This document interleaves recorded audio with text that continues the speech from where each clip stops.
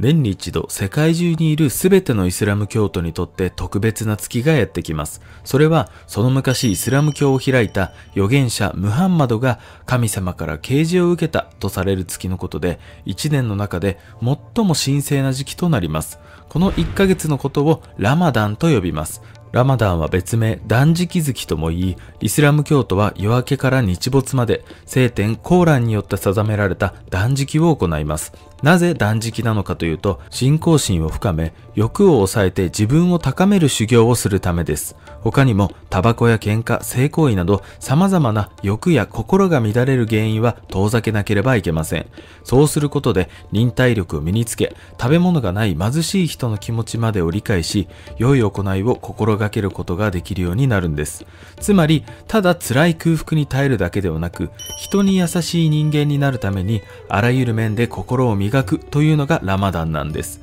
食事を取らずに生活するのはなんとなく辛そうなイメージですが、実際どんな様子なのかはあまり知らない人が多いのではないでしょうか。そこで今回の動画では、イスラム教徒にとって大切なラマダンを一日の流れを追いながら紹介します。経験なイスラム教徒が大切にしている教えや考えには、僕たちにとっても学べることがたくさんあります。辛いだけではない、その特別な時間の過ごし方に少し触れてみませんか？このチャンネルではそういった情報を配信しております。少しでも必要な情報だと感じたら、どこのチャンネルかわからなくなる前にぜひチャンネル登録をよろしくお願いいたします。それでは早速やっていきましょう。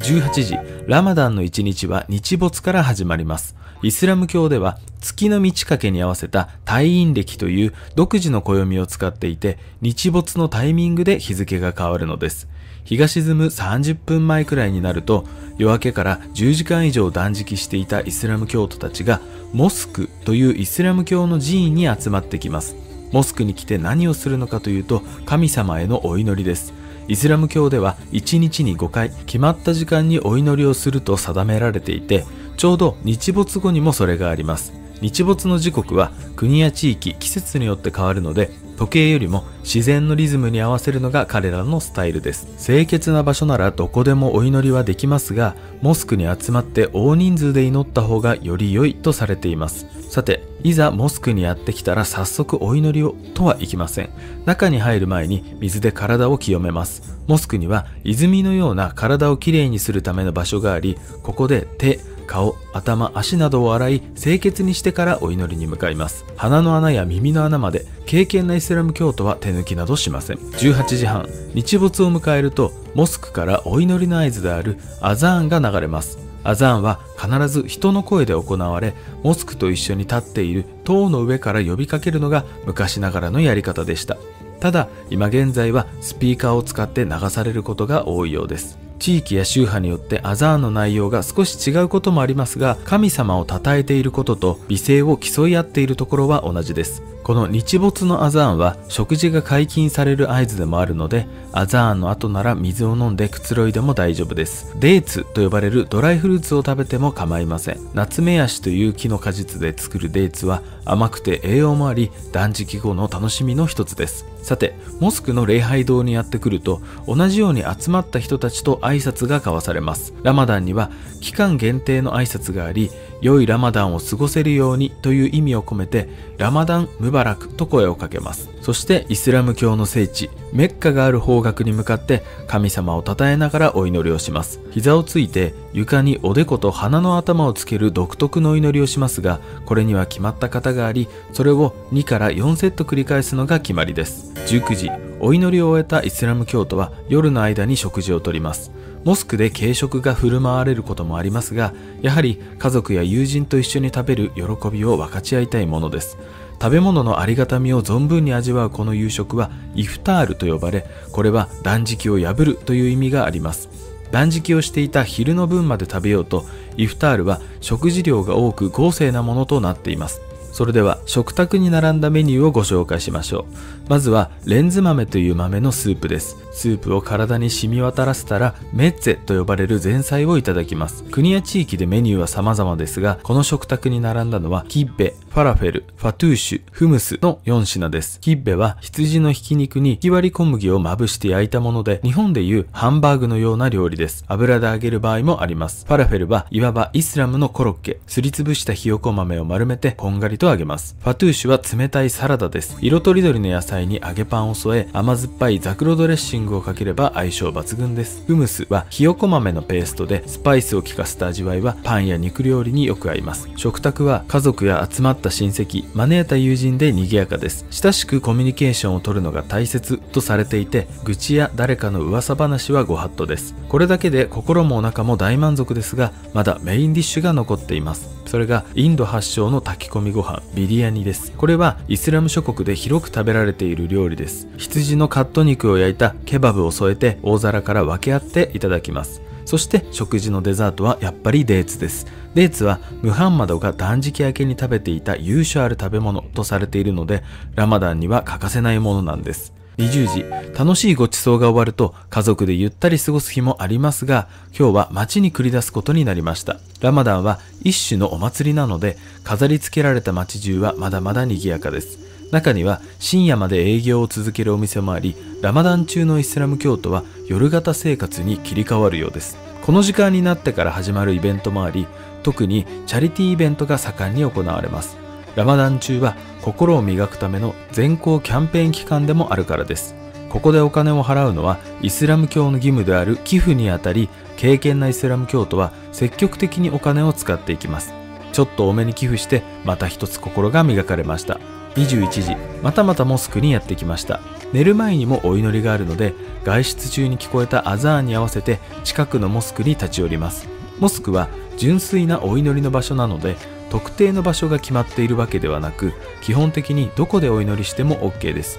そしてこの時間にはラマダン限定のお祈りであるタラウィーフができ敬虔なイスラム教徒は積極的に行います。これはいつものお祈りに追加すると効果が高くなるという特別なお祈りです。また通常よりはるかにセット数の多いタラウィーフを1ヶ月続けると生まれてから犯してしまった悪いことが帳消しになるとも言われています。さてお祈りを終えたら家に帰ります。街はまだ眠る気配がなく徹夜をするつもりの人もいるようです。中には自由な夜を楽しんで夜明け前のお祈りをしてから寝るという人もいるほどです。22時敬虔なイスラム教徒は翌日の生活に支障がないよう早めに就寝します。夜明け前のお祈りからまた長い断食が始まるのでお祈り前に起きて朝食も済まさなければいけません。なんとも大忙しですがラマダン中のイスラム教徒はいつも以上の充実感と幸福感に包まれ安らかな眠りにつきます。3時半目を覚ますのは外がまだ暗い時間です。眠い目をこすりながら断食に備えた朝食であるスフールを食べます。イスラム教徒は食べることができる食材は厳密に決められていますが許されるものなら何を食べても構いません。スフールのメニューも人それぞれですが腹持ちするものを食べておくと日中の活動で体調を崩しにくくなります。水も多めに飲んでおきます。4時半。夜明け前のアザーンが流れます。大音量で流されるこの放送で起きる人もいますがイスラム教徒以外の人にとっては辛いものです。これが原因でトラブルになることもあり話し合いの結果音量を小さくするという配慮がなされたこともありました。でも流さないという選択肢はないようです。そしてラマダン中のイスラム教徒にとっては断食開始の合図になります。また心を磨くための時間が来たことを喜びながら熱心にお祈りをします。この後もう一眠りしてもいいですし仕事に出かけるまでの時間を使ってコーランを読んでもはかどります。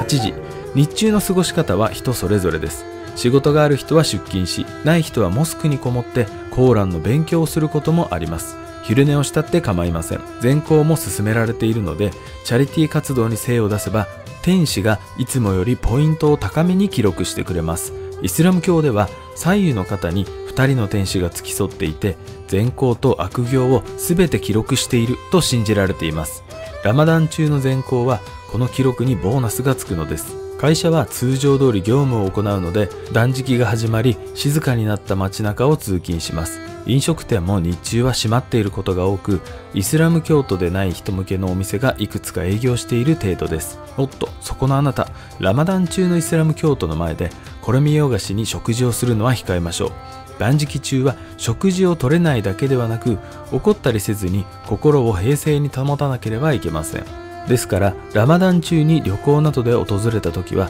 人目につかないところで食事を済ませるのがマナーです。10時断食中のイスラム教徒は敬虔な気持ちで仕事に打ち込みます。いつもよりお互いに気遣いすることで心の距離も近づいて連帯感も強まります。しかし中には夜遅くまで起きていたせいか寝不足の人もいるようです。12時本来なら楽しいランチの時間ですが今はラマダン中です。いつも食べ物の話ばかりしている同僚はやけに無口で顔も少し険しく見えます。寝不足と空腹の中できっと自分の心を見つめているのでしょう。日本だとこういった自分磨きは個人の自由ですがイスラム教徒にとっては守るべき義務です。これもコーランの教えによるもので断食して自分を磨くことは寄付やお祈りと並んで大切なことトップ5に入ります。ただ義務といっても中には事情があってできない人もいるはずです。実はそんな人はラマダンを特別に免除される場合があります。例えば赤ちゃんや妊婦さん授乳中のお母さんなどは断食するとむしろ命が危ないので免除されるのです。子供は6歳から7歳くらいでラマダンデビューを飾り少しずつ体を慣らしていくのが一般的です。他にも病気の人や高齢者なども体調が優れない場合はやらなくて良いとされています。しかし体調が回復したらできなかった分の断食は時期をずらしてでもやらなければいけません。トップ5に入る義務というのはそれだけ重要なんです。12時半お昼のお祈りの時間です険しい顔の同僚を誘って社内のお祈りルームに行きますイスラム教徒の働く会社にはお祈り専用の部屋があったりします絨毯が敷かれ、お祈りする方角が室内でもわかるように配慮された設計です。お祈りと休憩を終えたら午後の業務に戻ります。15時半、本日の仕事はここまでです。ラマダン中でも会社は休みにはなりませんが、イフタールに間に合うよう就業時間はだいたい短めです。仕事終わりにちょうど午後のお祈りの時間が来たので、これもしっかり行います。そして、イフタールに向けて準備をしながら日没を迎えて一日を終えます。イスラム教徒はこういった生活を1ヶ月続けるわけですが、ラマダンを辛いと嫌がる人はまずいません。むしろラマダンが終わってほしくないと思う人さえいて、イスラム教徒にとっては大切なだけではなく幸せな1ヶ月間なんです。ラマダン明け、長いラマダンが終わりました。期間中は夜もお祭りムードでしたが、ラマダン明けはさらに盛大に祝います。この祝祭をイード・アル・フィトルと言います。断食が明けて最初の朝食は一族で最も高齢の人が住む家に集まって食べるのが習わしですこの祝祭の期間は会社や学校も休みになることが多く家族揃って初詣ならぬモスクへお祈りに行きますそして出会った近所の人とおめでとうと挨拶を交わすのですなんだか日本のお正月みたいですね。ラマダンは実はイスラム教徒以外の人でも参加できるという場合があるので興味を持った人は日本のモスクに連絡を取ってみるといいでしょう。それではあなたも良いラマダンをお過ごしください。というわけで今回の動画は以上となります。最後までご視聴くださいましてありがとうございました。